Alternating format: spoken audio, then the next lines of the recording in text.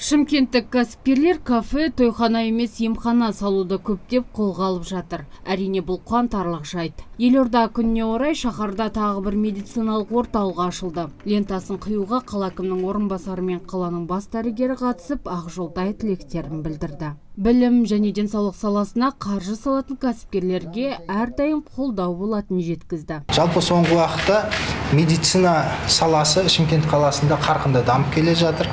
Оған дамуға себеп болған жеке инвесторлар ә, медицина саласына қазір көптеп келуде. Демек саны көбейген сайын ә, медицина көмегінің сапасы арта түседі. Біз қазір соны көріп отырмыз.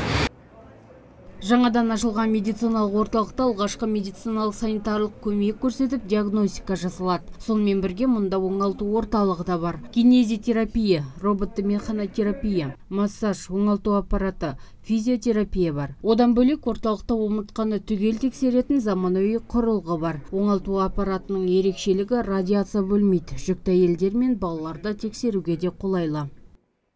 Бізде общий саны 120 палата бар. 300 адамға дейін жатқыза аламыз біз.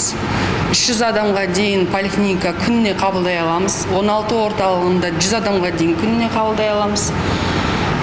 Штатымыз 300 адамға дейін штатымыз бар.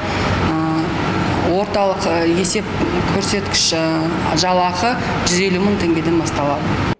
Салтанатты шараға қатысқан қаланың бас дәрігері дәл қазір эпидахуал ушығып тұрғанын еске салды. Қала қызыл аймақта болғандықтан сақтық шараларын ұмытпауға шақырды. Қос өкпесі қабынып аурудың алдын алуға дер кезінде әрекеттенбеген азаматты мысалға келтірді. Айтуынша індеттен құтылудың бір ғана жолы бар ол вакцина алу. Құрметті шымкент қаласының тұрғындары қайталап өтейін. Біз қызыл аймақтамыз. Аурухана жатқан сандар өте көп. Біз осы бір аптадан бері төсек орын қайтадан көбейтіп жатырмыз.